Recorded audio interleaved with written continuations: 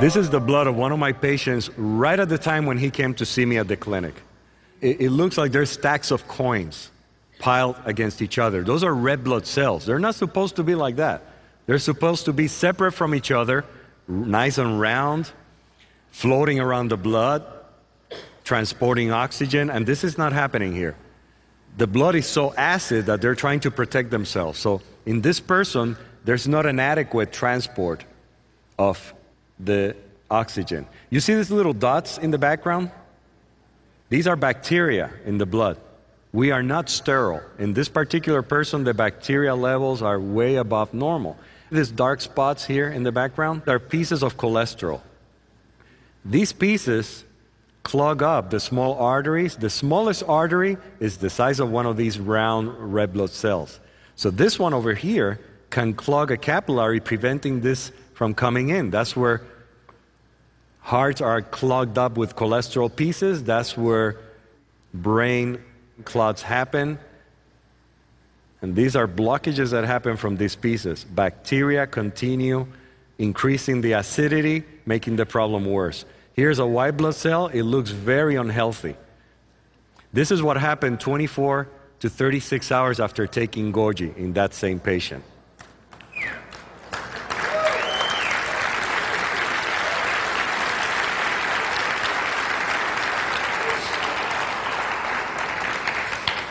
The cells have separated, meaning the blood is becoming more alkaline. It's transporting oxygen better. That's why they feel better right away. They're oxygenating better immediately.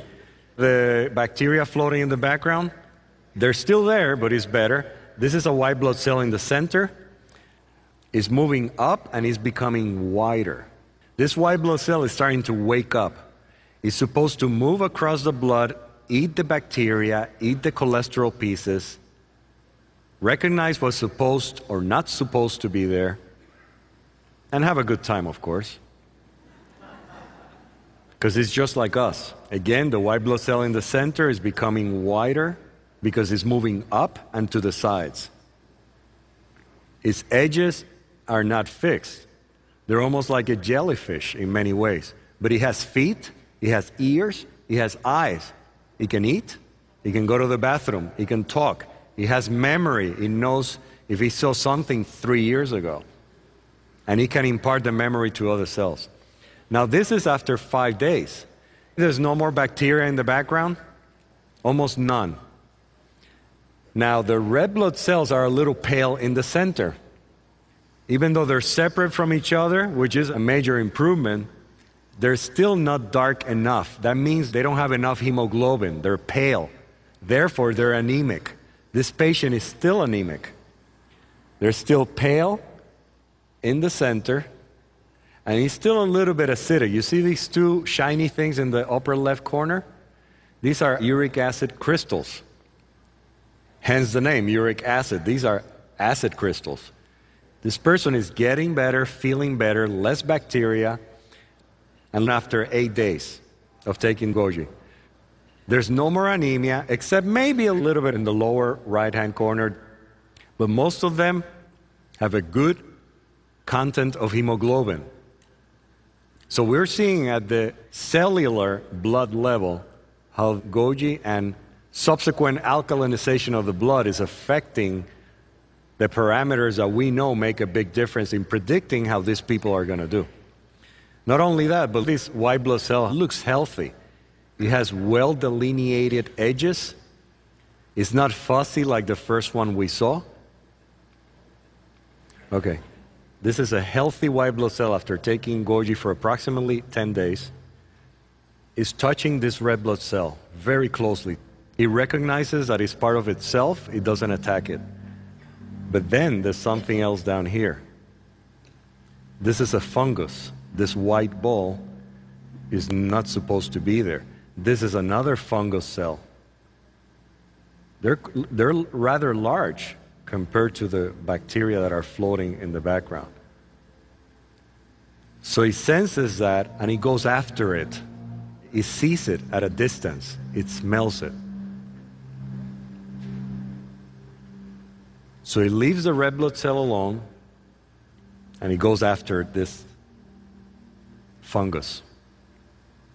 And he starts surrounding it. He's checking it out. This is what your systems are supposed to be doing. If they're not doing this, they're not at optimal health. So he's already got a hold of it, and little by little is going to engulf it and eat it. Because that's what this cell does. It already has recognized this fungus as something that's not supposed to be there. This doesn't happen automatically. But little by little, as you can see, it's surrounding it and it doesn't let it go. This is almost completely inside of this cell already. And this is what we want to see in your system. Okay.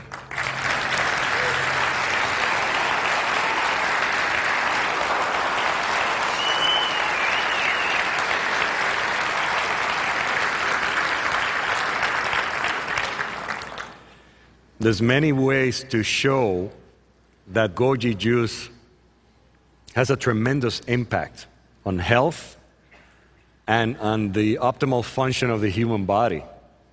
So now we see a few things that I want to summarize for you because they're very important to minimize your visits to your doctor. And they are taking your pH, temperature, and the way you feel.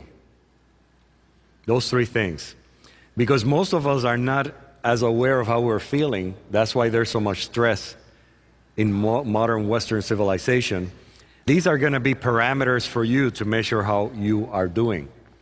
Because as soon as you start taking goji, two to four ounces a day, or whatever you might need to correct your alkalinity, you will start feeling better, and your body will feel so much better because of the detoxification that occurs and the regeneration that you will need to lower your medications fairly quickly.